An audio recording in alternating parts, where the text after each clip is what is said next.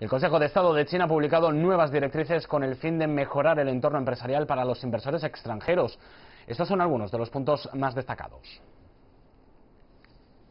En primer lugar, China continuará reduciendo las listas negativas para el acceso a inversión extranjera tanto en zonas piloto de libre comercio como en el resto del país. También eliminará las restricciones que no están incluidas en las listas.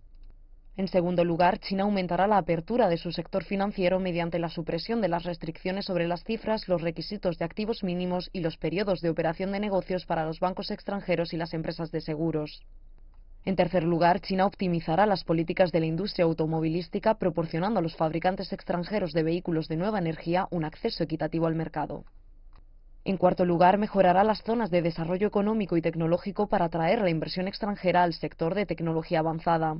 Estas pautas requieren que las autoridades locales ofrezcan mejores métodos de consultas y formación de las nuevas políticas a las empresas de alta tecnología extranjeras.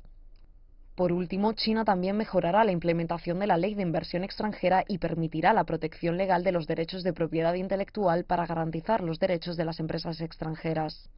CGTN en español.